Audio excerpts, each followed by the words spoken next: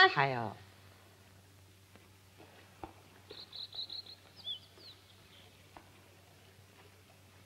兄ちゃんまたパンクか？親父が帰ったらきっと反抗しといてもらってくれよ。ああ分かった。心配いらんよ。忘れるなよ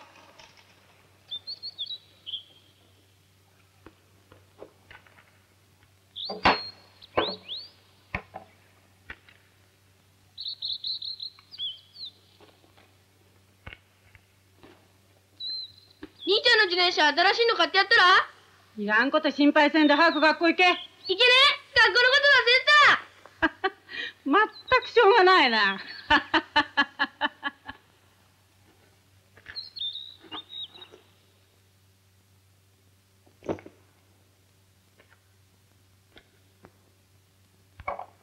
ん？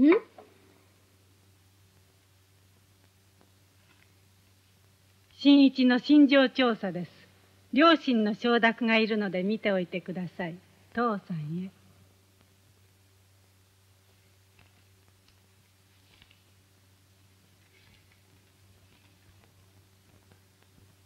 将来希望する職業及び学校、普通科高校、大学医学部。ええー、やっぱり医者か。おっかない医者になるべえな。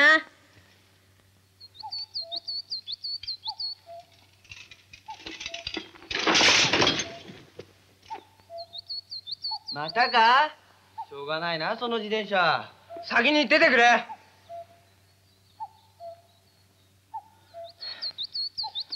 え？っ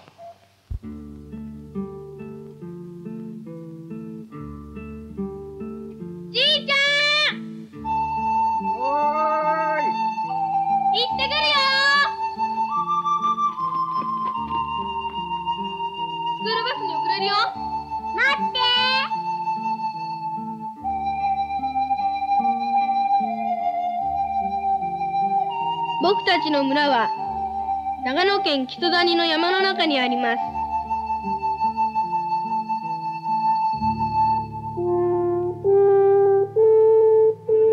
木曽谷は昔から木材の産地として知られ今でも素晴らしい森や林がたくさんあります。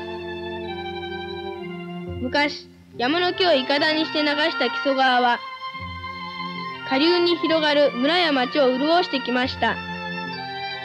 今でもあちこちに発電所が作られ愛知用水の水もこの御嶽湖から引かれています。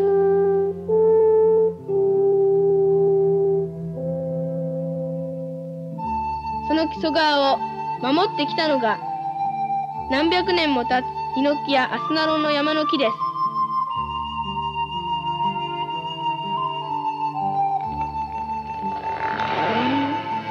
僕のお父さんはその山で働いています。じいちゃんもその前のじいちゃんもここいらの人はみんな山の木を守り働いてきたのです。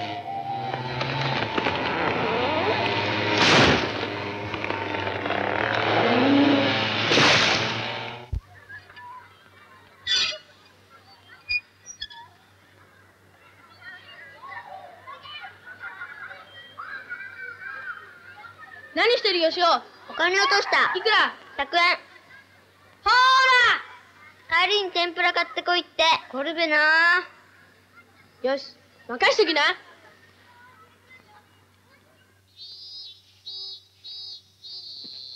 だいぶ取れたかうん、こんなに取れた。これだけあればいいだろう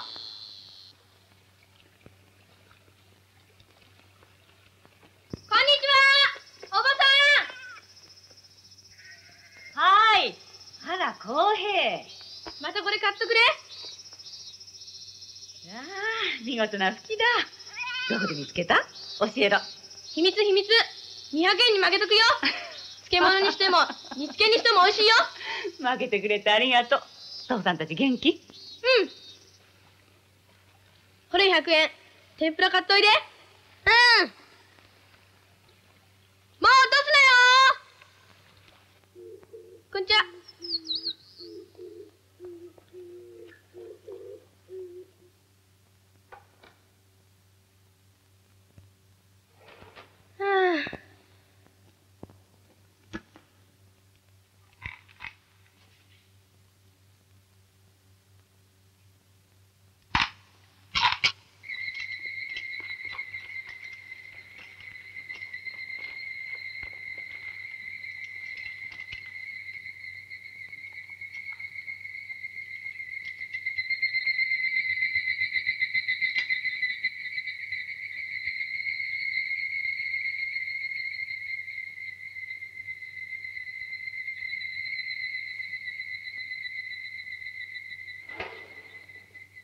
兄ちゃん。早かったな。ああ。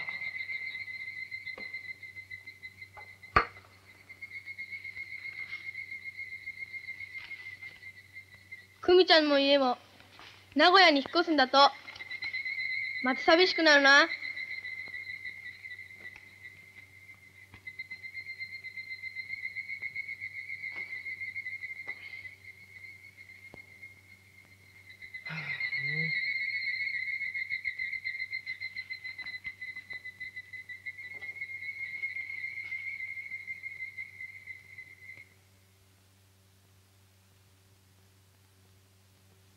父ちゃんからはまだ23日帰れんって電話があったし仕方ないだろ？じゃあいいんだな。このまま出して。いいよ。お前が決めたことだ。父ちゃんもきっと反対せん。よいしょ。自分で思ったようにやってみりゃいいさ。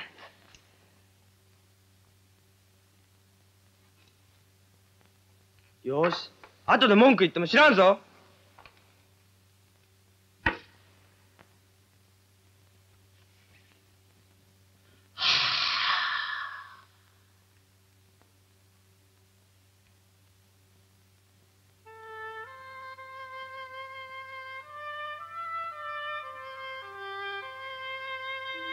山の仕事も機械化されて変わってきました。久美ちゃんの父さんは木馬といって木をソリに乗せて下ろす仕事をしていましたが、そんな仕事もなくなったので、名古屋の工場に勤めることになったのです。村にはおばあちゃんが一人残されて寂しそうです。こうした家が増えているけど、時々これでいいのかなと寂しくなります。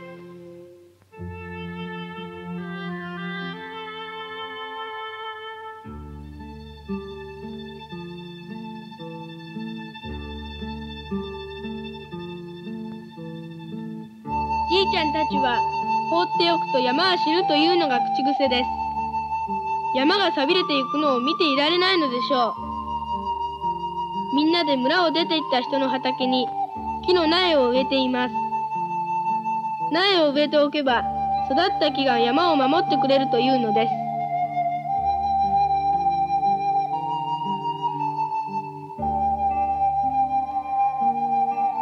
でも苗が育つのは40年、50年先のこと。その頃僕たちの村はどうなっているんだろう。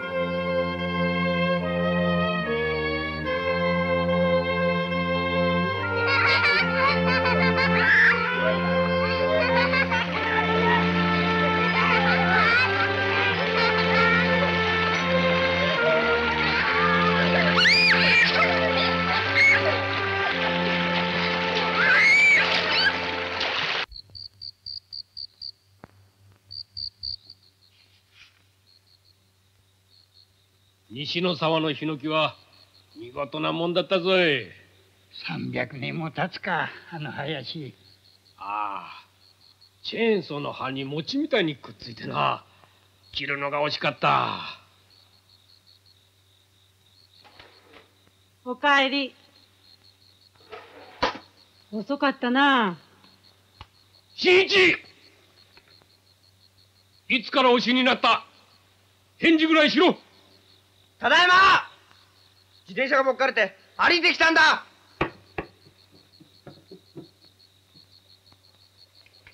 浩平今夜は霜が来るかもしれんぞ。本当か？ああ冷え込んどるでな。公平！しいたけがかわいそうだ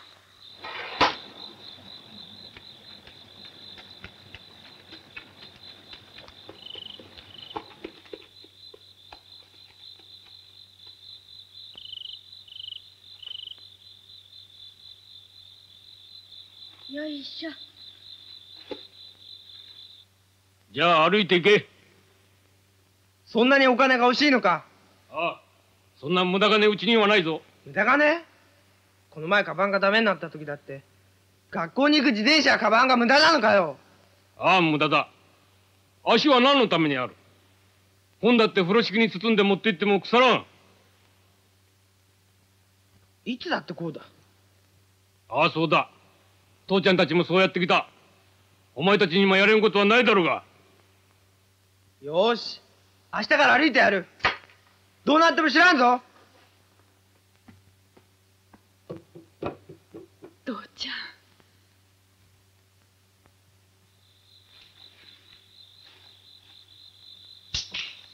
んえ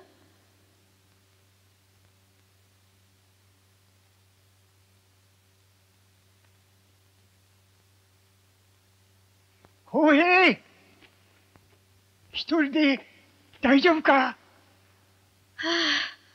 びっくりした。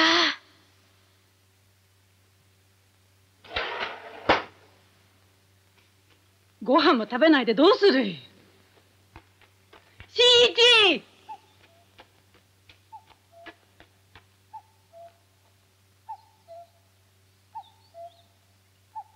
くそ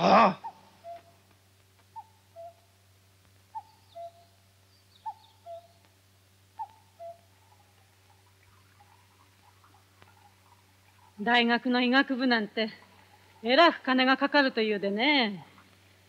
いくらかかっても本人がやる気がありゃやれるさ。自分でやり抜く気を起こさせにゃとってもやれるもんじゃないぞ。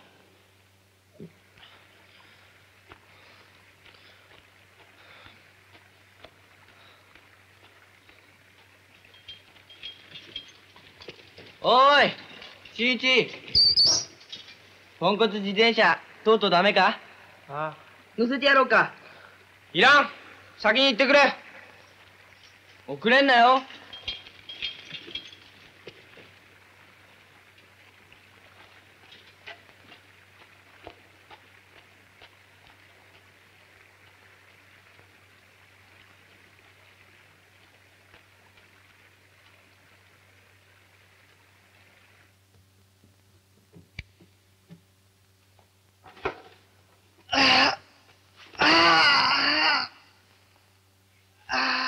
兄ちゃんご飯うるさ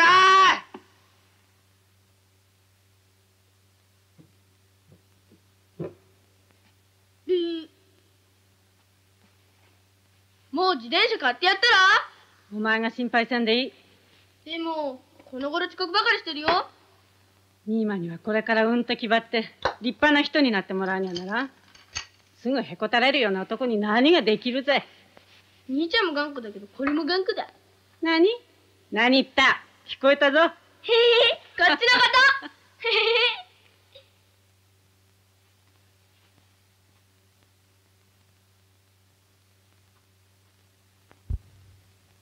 兄ちゃん。ご飯持ってきてあげた。今日も学校遅れただろ？安尾の兄ちゃんに会ったらあんなことしたら大学なんか上がれっこないって。言ってたぞ。どうせ俺は医者なんてなれっこないさ。自転車一台買えないこんなケチくさい家の息子がどうして医者なんかになれるもんか。医者が間に合わなくて。みすみす死んでいく人を何度も見た。だからそんな人を助けたいと思った。でも俺がバカだったのよ。クソ。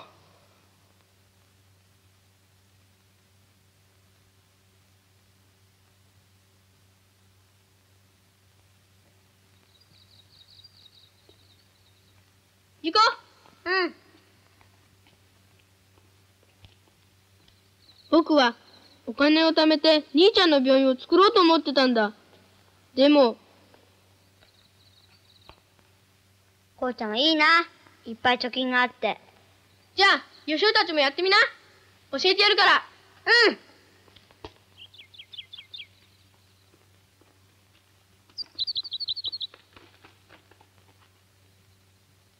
一本の穂だけで100個ぐらい椎茸が取れるんだへえ。すごいな。やる気があるんならやり方教えてやる。自分たちで小遣いぐらい作ってみな。やれるかな。やれるさ。相手はただ生き物だから可愛がらないとすぐ死んでしまう。可愛がってやればお返ししてくれるのさ。じいちゃんがそう言ってた。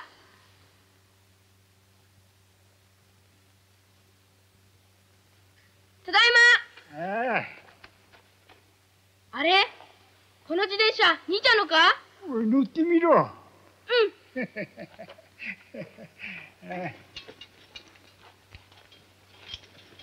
まだ乗れるな。部品を変えたら動いたぞ。へえこれがあのボロ自転車か。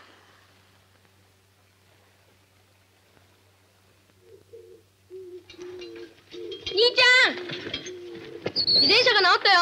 ほらじいちゃんが直してくれたんだ。新品みたいだぞ。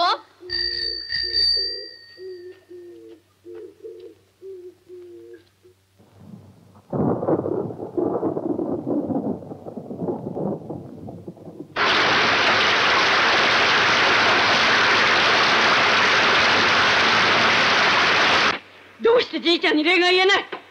誰が頼んだ？直してくれなんて言ったもんないぞ。新一直したってまたすぐ僕からに決まってる。余計なことしてなんだ？新一いい加減にしな何言ってるんだ。いつまでもわからんこと言って。くそ自転車があるのかそんな欲しいのかケチ。呆れて物も言えねえや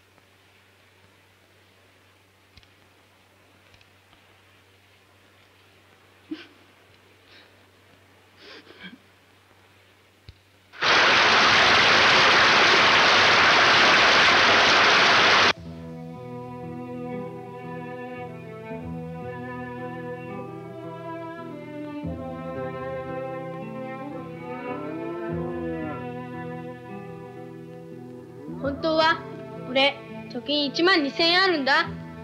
兄ちゃんにあげるから自転車買ってよ。いらん。でも。当分おばさんところで働きながら勉強するさ。父ちゃんたちどうしてあんなにわからないのかな。同じ山の中だってここいらの人を見ろよ。木曽谷で何百年も昔に初めて米を作り出したのもここの人たちだ木曽駒という素晴らしい馬も工夫して作り出したし今では酪農や高原野菜で立派にやってる。それに比べたらうちの親父なんか昔のまんま山仕事だけにへばりついてる。頭が古すぎて話にならないや。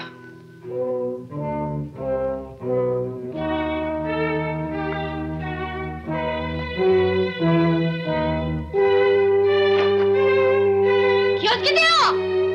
なんだよ。山火事になったらどうするかい何を？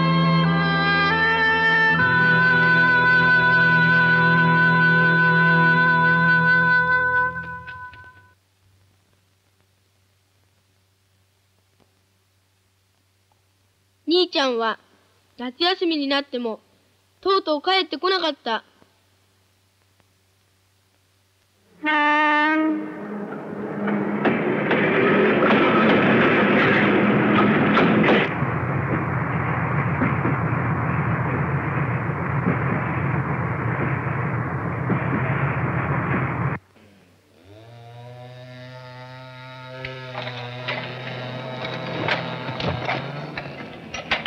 どうした。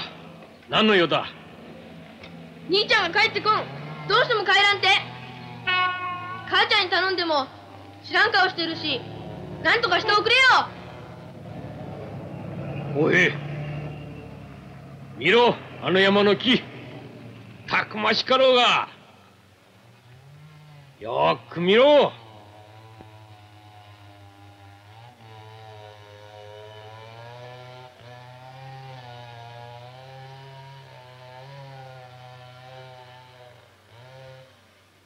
山の木はな嵐や雪や風に耐えてあんなにたくましく育ったんだ。弱いやつは途中で枯れてしまう。人間も甘やかされて育ったやつはろくな人間になれんぞ。でもそんなこと言って父ちゃんはごまかしてるんだ。お金が欲しいから。兄ちゃんが言ってたよ。このままじゃ惨めになるだけだって。惨めになるだけ？公平もそう思うのか？俺わからない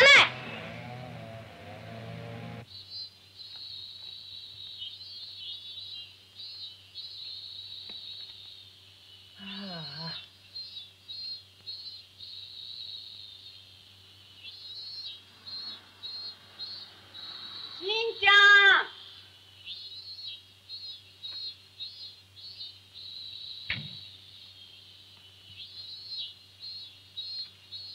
しんちゃん母さんに届けてきて。あんなの顔見るのも嫌だ。しんちゃんいつまでも甘ったれてると怒るわよ。これ読んでみな。一人前の医者になるにはどれだけのお金がかかるのか。考えてみたことあるの？母さんに頼まれてうち来る学生さんに頼んで調べてもらったんだけど容易なことじゃないのよ。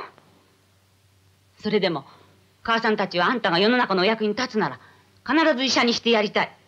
そう言ってきているそれでもケチだと思うの。あんたも子供じゃないんだから。少しは考えてごらん。こんなにかかるとは思わなかったんだ。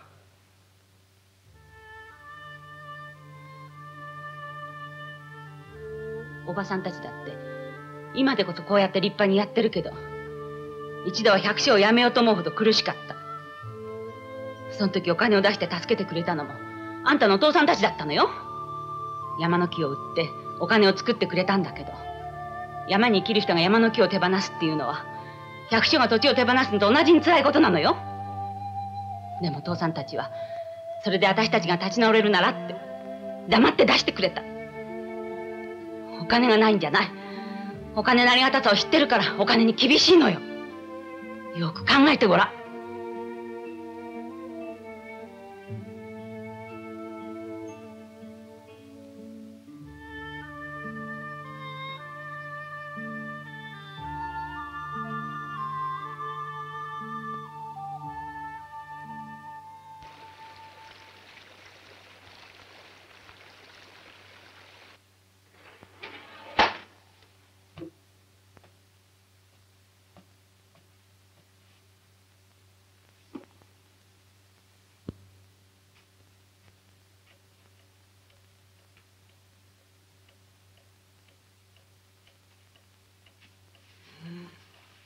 Mm.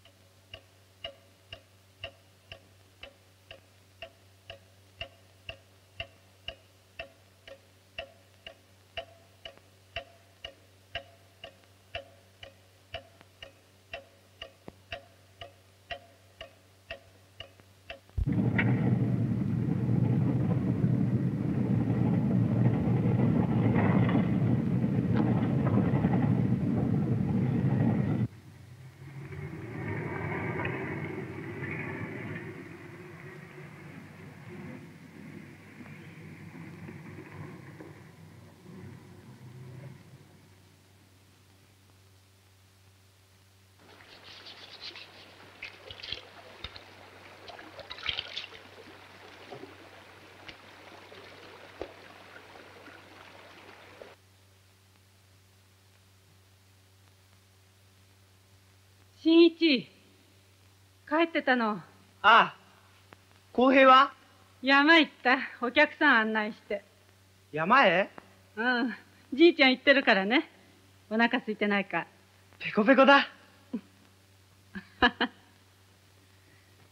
お前の好きなかぼちゃ煮てやるぞ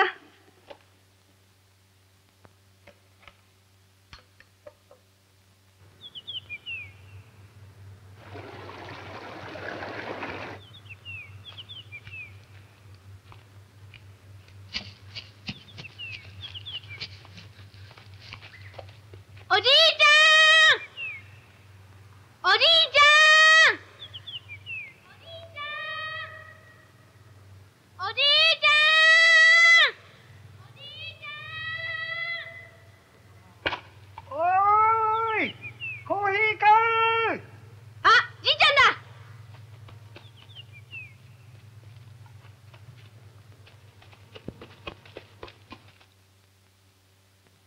簡単に考えたけど大変なんだよ。いいでないの。いくらお金がかかったって。思ったようにやってみな。母ちゃん。ん？本当にいいんだね。ああいいよ。お前が立派なお医者さんになって。世の中のお役に立ってくれたら、それでいいさ。ちっとも惜しくないよ。さて、もう一仕事やってこよう。あ、それからこれ。父ちゃんがお前に渡してくれって。新一、父ちゃんが自転車を買ってやらなかったのは、お前に自分の力で生き抜くことを知ってほしかったからだ。それがわからないと何一つやれるものじゃない。世の中に甘えるな。父ちゃんも小さい時からじいちゃんにそう言われた。だからお前にもそれを分かってほしかった。もう分かるはずだ、父。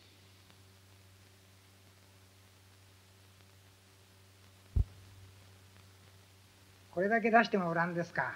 いくら出すと言われても売れん。じゃあまた来るで考えといてくださいよ。ああ、いくら来てもらっても同じじゃ。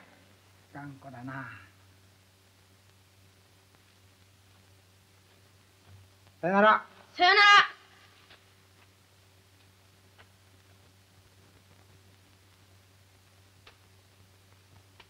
じいちゃん、どうして売らなかったの？うん？この木一本売っても、兄ちゃんの自転車何十台って買えるのに。公平、山の木はな、何百年もこうやって大雨や台風からわしらを守ってくれた世の中の財産じゃぞ。わしらはただ、それを預かってきただけじゃよ。でも、これは、うちの山なんだろ？ああ、でもな、あと10年か15年、植え替える時が来れば、この木がきっとお前たちを助けてくれる。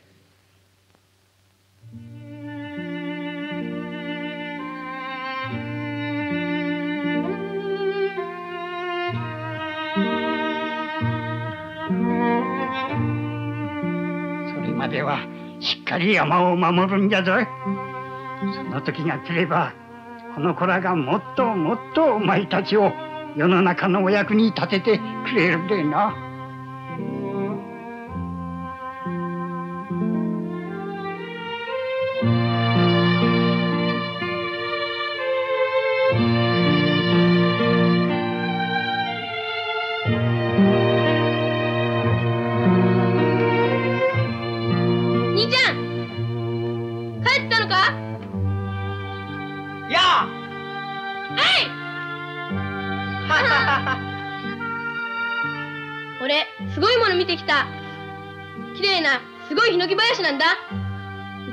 林があるなんてちっとも知らなかった。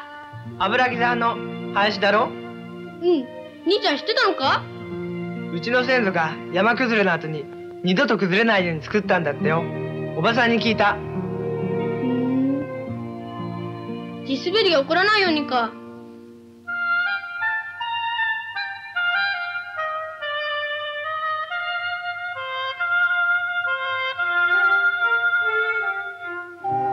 父ちゃんたちはどんなに苦しくてもそれをじっと守ってきたんだ。う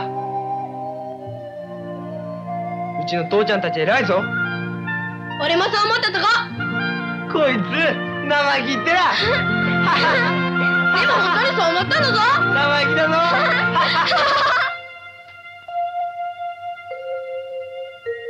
本当に偉いよ。俺も負けてられん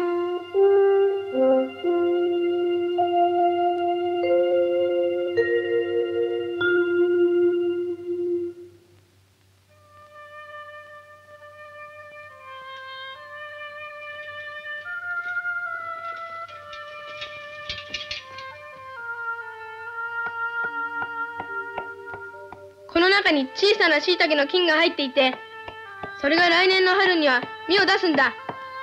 これだって生きてるんだぞ。ふーん。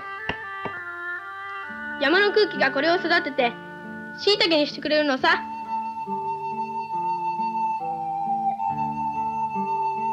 じいちゃんは、人間が自然を大切にすれば、自然は必ず人間を助けてくれると言います。自然はいろんなものを育ててくれるんだ。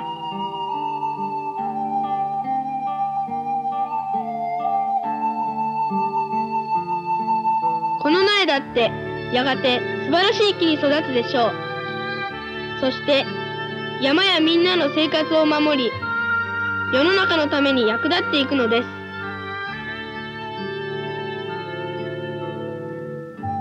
僕たちだって負けるもんか。